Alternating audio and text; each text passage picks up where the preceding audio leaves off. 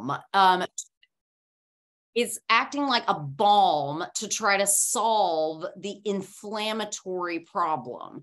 So, if we can work on reducing the inflammation, we can work on reducing how dangerous the cholesterol actually is to us. I also want to rock your world and say, like, listen, there's some settings where statin medications are simply not indicated, right? So if you look at the ASCOT trial, this is the critical trial that brought Lipitor to market or atorvastatin, which was one of our very first like high dose um, or high intensity statins. So a little bit about history about statin medications the first statin medication, lovastatin, was actually isolated from a natural product of red yeast rice. And this is a very common supplement that you may see some of your patients on. So, statin medications were derived from a natural product. Statin medications go on a scale of hydrophilic and hydrophobic, right? So some of them love water, others do not love water. The ones that love water tend to be your less intense statins, so your lovastatin, your your um, pravastatins. The ones that love fat are the more high intensity statins like atorvastatin and rosuvastatin and then fluvastatin, which nobody uses anyways, is somewhere right in the middle. Okay. So these high intensity statins carry a higher risk of side effects. Okay. Let me tell you a way that you can change your patient's life when they are taking statins. In Japan, it is mandated by law that every statin prescription also accompany a CoQ10 prescription. Many of you may know that the most common side effects of statin medications are muscle pains, muscle weakness, and brown urine as a symptom of rhabdomyolysis and muscle breakdown. Muscle breakdown is really, really bad because it is one of the root causes of insulin resistance. Sarcopenia is a huge cause of insulin resistance, and you can honestly, especially your postmenopausal women, you can change their life by encouraging them to lift weights. Because here's the thing statins increase the risk of diabetes in postmenopausal women. And in the ASCOT trial, in women who did not have a heart attack or a stroke before using a statin, there was no evidence that it, use of a statin could reduce the risk of death. And women who had not had a heart attack or a stroke and were placed on a statin had 10% more heart attacks than the women who were given placebo in the Ascot trial. There is a very big differentiator between men and women and the use of statin medications. So, why do people get muscle breakdown and pain? Okay, so the way that statins work is they inhibit an, enzy- an enzyme called HMG CoA reductase. And HMG CoA reductase is what is called the rate limiting step in the production of cholesterol. So your rate limiting step in in all of these enzyme processes that have to occur over time, the rate limiting step is the one that happens the slowest. So if you can stop that step from happening, you stop the entire cascade, okay? So when we inhibit that enzyme, there's a major problem. HMG CoA reductase also is responsible for the production of CoQ10. CoQ10 is what cleans up all of the mess that your mitochondria make as they fuel your body to make energy. So remember back to our like eighth grade biology that we have the powerhouse of the cell. Unfortunately, the powerhouse is a messy little mistress who produces a lot of free radicals as it produces energy. Free radicals create chains of inflammation. And remember, cholesterol in and of itself is not dangerous in the absence of inflammation. So if we don't have CoQ10, we increase the inflammatory load of the body and we increase the inflammatory load specifically on our musculature. And so if you see a patient on a statin medication that is also not on a CoQ10 medication or a CoQ10 supplement, excuse me. There's a ton of them out there on the market. They're freely available at every pharmacy. Um, and they're complaining of muscle pain and weakness.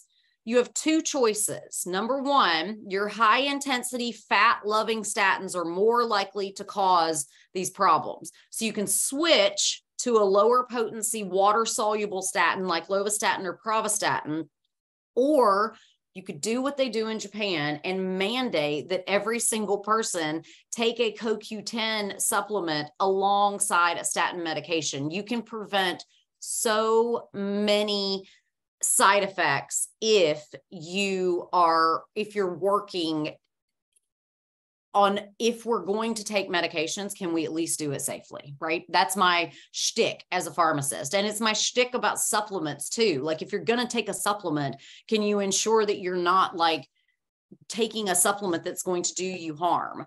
So, what else do we know about really low serum cholesterols, right? We know that it can increase the risk of diabetes in postmenopausal women. We know that women who have not had heart attacks or strokes and take a statin actually have an increased risk of heart attacks.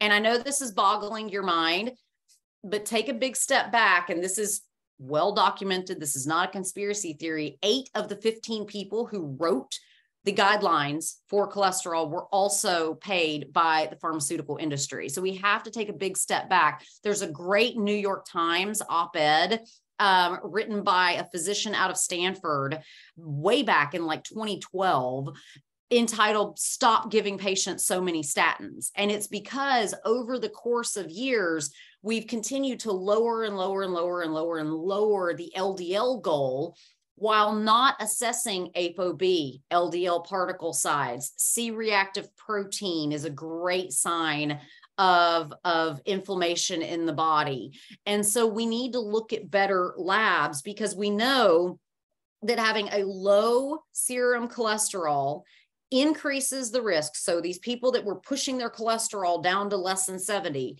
increases the risk of ischemic stroke, increases the risk of intracranial hemorrhage, and well known to change our mood and our behaviors because when you don't have enough cholesterol, cholesterol is the grandfather of all of our sex steroids. So when you artificially lower cholesterol, you're also throwing estrogen, testosterone, and progesterone out of balance, which can be very dangerous because estrogen has such a great role in protecting our bones and protecting our hearts.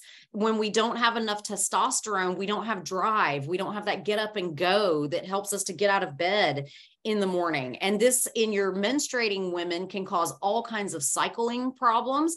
And in postmenopausal women, now we're increasing the risk of osteopenia and osteoporosis, which is never a good thing.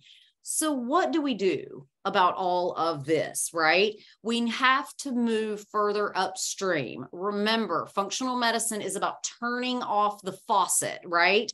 So, we have to look at genes. If you have an ApoE deficiency, you're probably going to have familial hypercholesterolemia.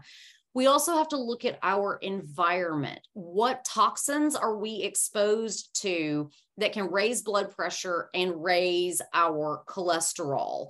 Lifestyle. Lifestyle is so um, important. And a lot of the lifestyle advice that we have been given is a little bit off. It's a little bit off. Um, so we talk about we talk about salt. We talk about um, you know eating fruits and vegetables and exercise and this and that. But we have very good emerging evidence that's only about five years old to show that the root cause of high blood pressure and high cholesterol is not a salt problem and it's certainly not a fat in the diet problem. It's a sugar in the diet problem. So fructose raises levels of uric acid. And uric acid, you're probably thinking like, oh, gout, right? But uric acid levels will be elevated for years and years and years, causing high blood pressure and high cholesterol far before any type of gout type symptoms emerge. So look up the, the recent research that's coming out about simple sugars like fructose driving the incidence of cardiometabolic disease. And it's also driving up obesity rates as well. So we have to stop demonizing salt. Um, you would die without salt. Now, we can encourage our patients to eat better salts, right? The iodized Morton's crap is doing nothing to keep your patients healthy, but you can use gray salts black salts pink salts there's there's lots red salts there's lots and lots and lots of different salts out there that are inherently safer for consumption because they contain multi minerals alongside just the sodium. For your patients that are on your ACE inhibitors, like so all of your pril drugs, your lisinopril, your monopril, your enalapril, all your pril drugs, those are ACE inhibitors we have to ensure that they're not using salt substitutes as well, right? So, our salt substitutes typically use potassium as the source of saltiness. And because the ACE inhibitors, as well as the ARBs, your angiotensin receptor blockers, those are your sartan drugs, both of those increase the risk of hyperkalemia. And you know, we all have heard, at least I hope we all have heard, you never push potassium because an overload of potassium will stop the heart instantly. We don't want to be pushing hyperkalemia in our patients because it's dangerous, it's hard on the kidneys, etc. So we can use better salts, but we have to focus on sugar. You have to focus on specifically on fructose you have to focus specifically on fructose if you want these markers of, of, of inflammation to come down. We also know that up under basically every cardiometabolic problem is insulin resistance, right? So insulin resistance leads to hyperinsulinemia, right? So you, you got way too much insulin and your cells are just like I don't care, right? So insulin resistance leads to hyperinsulinemia, which leads to a compensated effect where your your cardiovascular system is trying to correct this this hyperinsulinemia and the only way that it knows how to do it is through fat storage. So now we're starting to get obesity. Now we're starting to get non um, alcoholic liver disease and ultimately leads to cardiometabolic syndrome. So, cardiometabolic syndrome, we've got that low HDL, we've got an elevated blood pressure, we've got that large waist circumference. Um, and so we need to ensure like diabetes is a spectrum, right? Cardiovascular disease is a spectrum.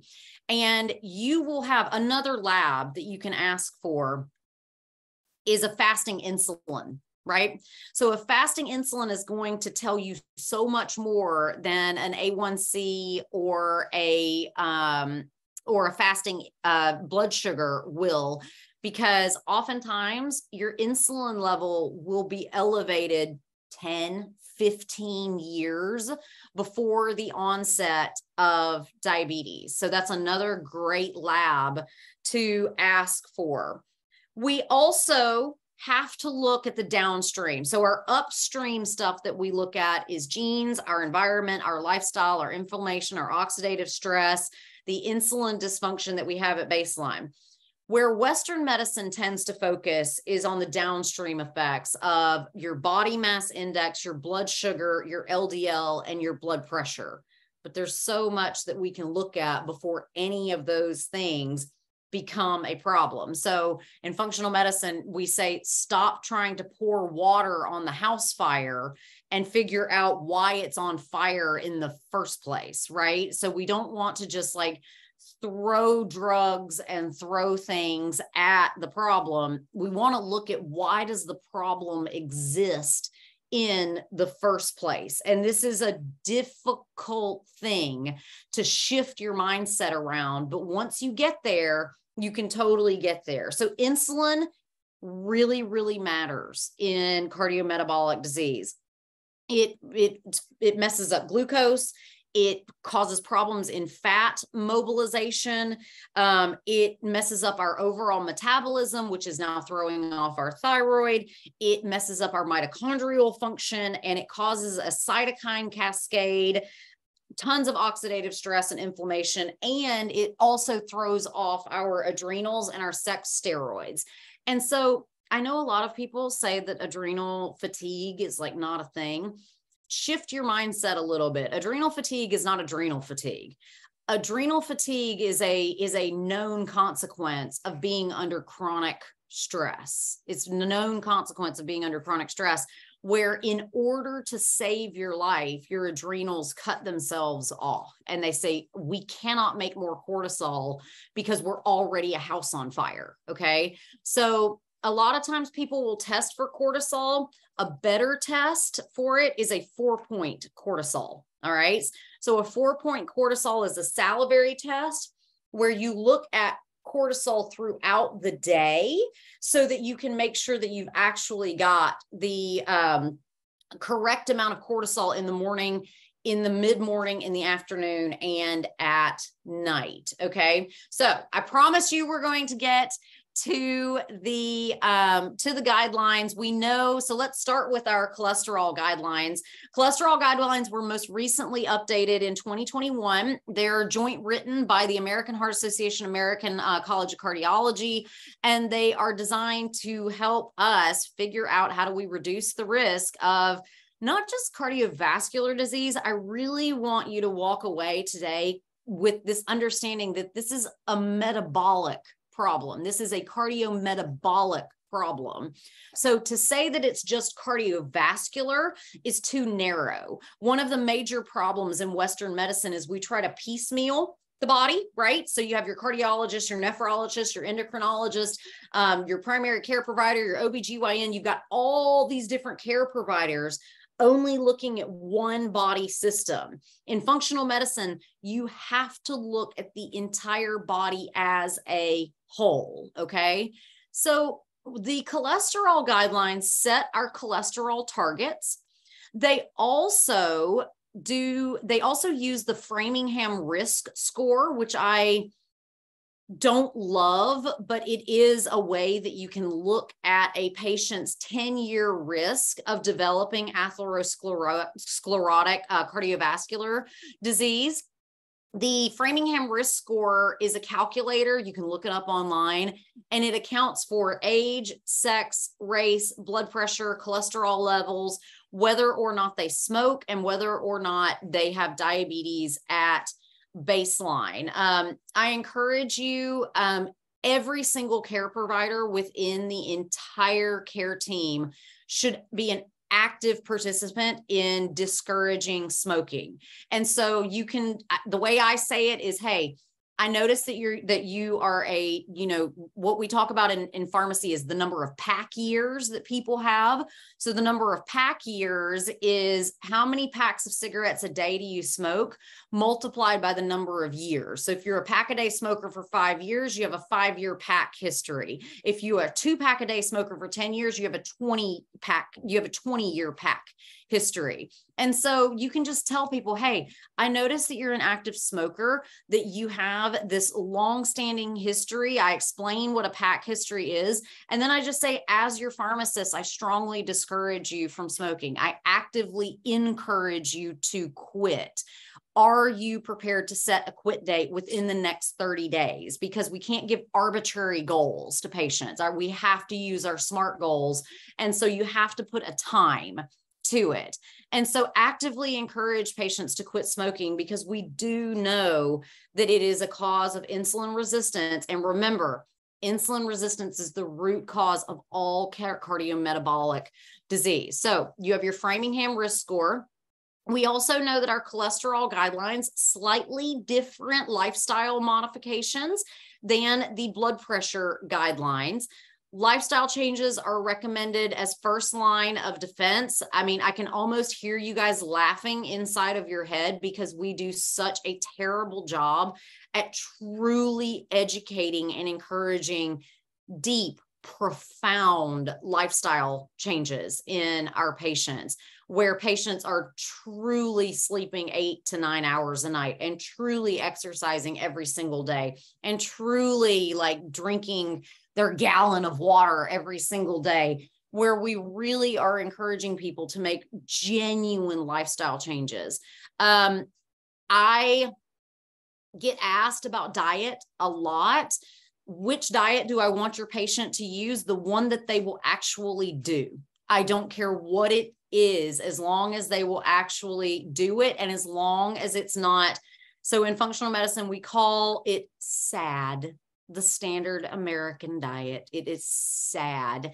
And some people, um, some people call it, um, you know, a terrible American diet, but the standard American diet is so pro inflammatory and it is so responsible for this hyperinsulinemia that is causing the problems. All right. So we in, um, in functional medicine, we talk about our ATMs so our ATMs are our antecedents. So what predated this?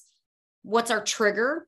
And then what mediates it, what modulates it, what mediates it. So, in addition to these lifestyle changes that we need to be looking at, we're looking at stress, we're looking at genes, we're looking at inflammation, and the lifestyle can be the hugest component of the inflammation we have to look at the microbiome. There are um, there are certain bacteria that if you are colonized with these bacteria, you will not ever be obese. And if you lack these bacteria, you will always stay obese. And so we need to be encouraging basically every patient under the sun to be taking probiotic supplements, and we need to be using strain specific probiotics so that we actually know what they do. Lifting weights is another huge lifestyle modification. I mentioned sarcopenia as a cause of insulin resistance. It's specifically laid out in um, many guidelines that lifting weights is critical. And the heavier the weight that you can get, the better. Um, there is research to show that even if you can only do one rep doing one rep at the heaviest weight that you can possibly tolerate has huge benefits in helping to prevent insulin resistance, high cholesterol, and high blood pressure. Okay. We also, um, as far as diets go, I said the one that the patient will stick to. The Mediterranean diet, I think, has the best research behind it um, as far as being a heart healthy diet in the guidelines for cholesterol, statin medications are your first go to med for the lowering of cholesterol. But we have to ask ourselves, why are we lowering cholesterol? Okay. So in pharmacy research, there is this concept of what's called DOEs versus POEMS, right? So DOEs versus POEMS um, DOEs are disease oriented endpoints. That's where you say, like, oh, we've lowered their LDL. Hooray. But you don't care if you lower your LDL. What do you actually care about? You care about the patient oriented evidence that matters. Do you have a heart attack? Do you have a stroke? Do you die? Right. So we have a lot of great evidence for statins that is disease oriented endpoints we don't have as much of this patient oriented evidence that matters, especially in women. However, according to the guidelines, we have our um, statins as our primary therapies. And so statins decrease LDL, they decrease triglycerides, they slightly increase HDL, but they cause muscle pain.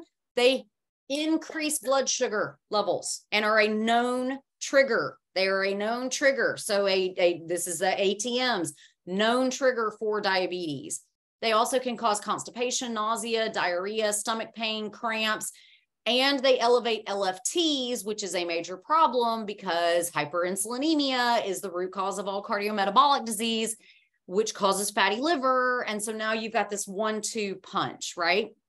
We also have our ezetimibe therapy, um, decreases LDL, uh, slightly de- decreases uh, triglycerides, slightly increases HDL. Um, when you think of ezetimibe, this is a cholesterol absorption inhibitor.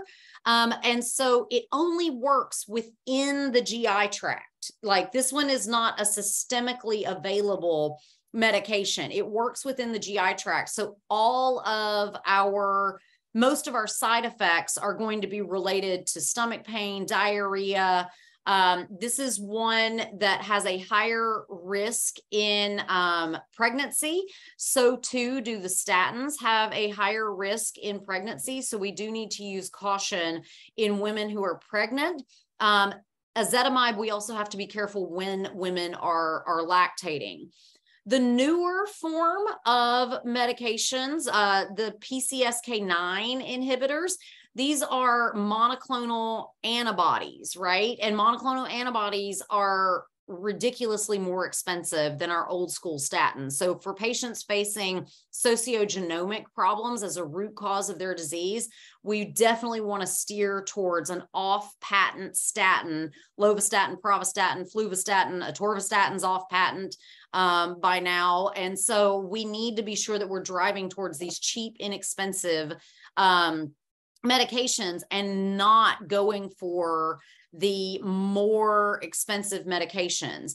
PCSK9 inhibitors are typically only used in people who have ApoE problems. Um, that ApoE problems can cause really high cholesterol levels. So if you have a patient in their 20s with like an LDL of like 250, do not pass go, do not collect $200, immediately test for ApoE um, genomics because you're going to find out that they have familial hypercholesterolemia. There's no reason that someone that young, unless they have been obese since they were a child, maybe they were born a 10, 12 pound baby, um, etc. So um, there is there's not a lot of great reasons that we need to be using these monoclonal antibodies unless people have failed statin therapy and the statin therapy needs to be optimized by using a CoQ10 supplement, using the lowest dose possible,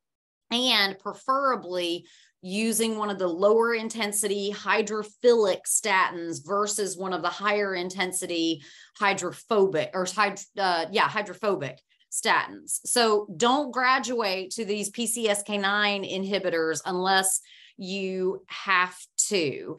Um, they they cause bruising they are an injection they're expensive they can cause local swelling itching um, and pain so use these more for last line agents another uber cheap old class of medications is your bile acid sequestrants. These are cholestyramine, colesevelam, and colestipol.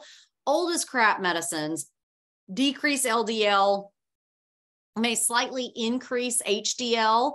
These again work within the gut. So our side effects are going to be primarily gut based. So constipation, bloating, nausea, gas, heartburn. There's also a lot of drug interactions with bile acid sequestrant. So any medication that absorbs things, um, you can, you can, uh, you can really know that they're going to cause going to cause problems. Um, and then our next class of, of medications is our citrate lyase inhibitors. Um, this is um, bempedoic acid or Nexletol. These are a newer class of medications. They decrease um, LDL, but they mess up uric acid. And we know that uric acid is one of the root causes of cardiometabolic disease because of the research that we've done on fructose and how fructose increases uric acid. So these medications can drive gout flares while also elevating uric acid, which is also increasing the risk of cardiovascular disease. It just makes you sick to your stomach when you really start to look at it. We also have our niacin. Niacin, vitamin B Three helps to decrease LDL, increases HDL. Um, it does cause flushing. And so people can feel like they're kind of having like a, a hot flash. Um, you can mitigate the risk of it by taking many of these patients are on um, aspirin, low dose baby aspirin every day. If you take your aspirin 30 minutes before your niacin, you can reduce the risk of facial flushing. Problem with niacin is it also increases our blood sugar, right? So if you've got a statin medication alongside a niacin and now all of a sudden you've got a new onset diabetes, it may be triggered. It may be, again, ATMs, it may be triggered by the medication usage. We also have our fenofibrates. Um, they're not used as much. These are used um, primarily to decrease, I'm sorry, uh, triglycerides. They only modestly decrease LDL and they do increase our HDL. Um, fenofibrate and uh, again old cheap drugs um, great options for patients who struggle to afford their medications um, also as you're getting out there you guys have a big voice with the the alabama nursing association and the alabama social work association. As you are attending breakfasts down in montgomery talk to our state senators and talk to our congress people about the fact that we are the only country the only wealthy nation in the world where we do not have governmental oversight of drug pricing. And according to the Institute for Clinical and Economic Research, if we were to bring drug pricing within 20% of all other wealthy nations in the world, we would decrease the annual expenditure for medications in this country by $500 billion. And that's our tax money, people. And so we in the United States spend an excess of $2.3 trillion a year to live six years less than all other inhabitants of wealthy nations and we have no governmental oversight of drug pricing, which is criminal at this point. Um, I actually am a candidate for a for a diplomat in pharmacy law at the moment because this is so infuriating to me that we as an American people do not know just how badly we are getting ripped off by the pharmaceutical industry. And what's the worst news ever? It's literally hard coded in both um, the Affordable Care Act as well as the CURES Act of 2016 the drug companies literally got our congresspeople, our senators to write it into legislation that the US government will never have any oversight over drug pricing. So wish me well on my journey because if anybody can wrangle the pharmaceutical industry into submission, it's this chick right here because it is criminal that we are charging people so much. Let's talk about the history of insulin, right? How many of your patients struggle to afford their insulin? Life saving medication for cardiometabolic disease, okay? I want you guys to all go back and reread the diabetes guidelines. They come out every single January. Just three short years ago, the American Diabetes Association, right? I have a good job and I struggle to pay for my insulin. Christina, that is because the drug company completely manipulated doctors. So go back in time, right? We used to only have recombinant insulin, right? Recombinant insulin comes from an animal source, okay? So that's your insulin NPH and your insulin 7030s, right? Cheap, cheap, cheap drugs. What did the drug company do? They came out with what are called insulin analogs. These are your insulin glargines, your insulin asparts. Then they went to physicians nationwide and with zero evidence to back it up, told physicians that these were safer because they cause less hypoglycemia. They don't. And they said that they were less allergenic because they're not from an animal source total blatant lie.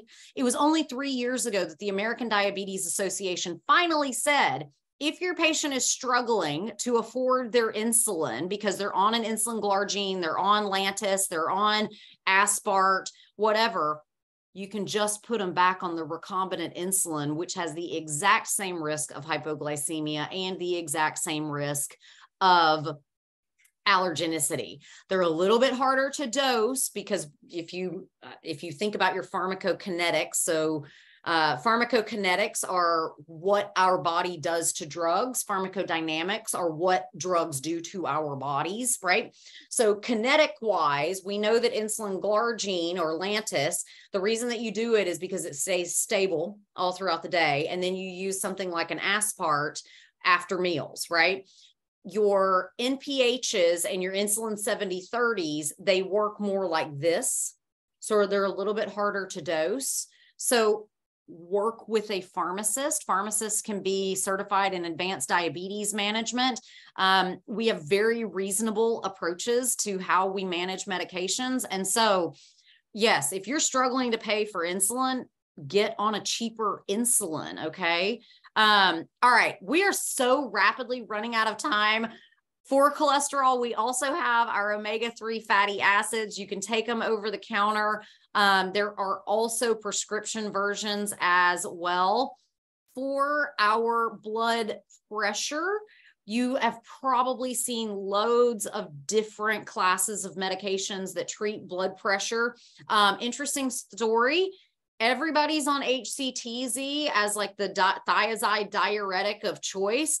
Believe it or not, all the drug research was done with chlorthalidone. So, if you actually want to be practicing evidence based medicine, all of these patients on HCTZ should be on chlorthalidone instead.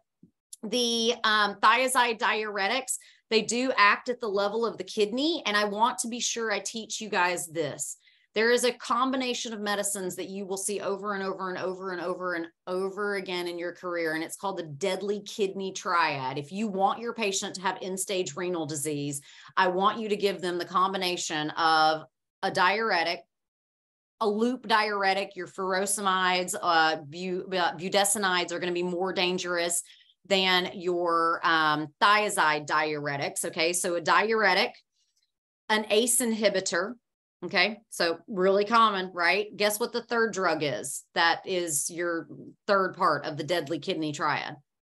Ibuprofen, right? So the reason that this is so deadly is because the at the level of the glomerulus inside of your kidney, you have your loop diuretic, which which is going to drain and dehydrate the glomerulus.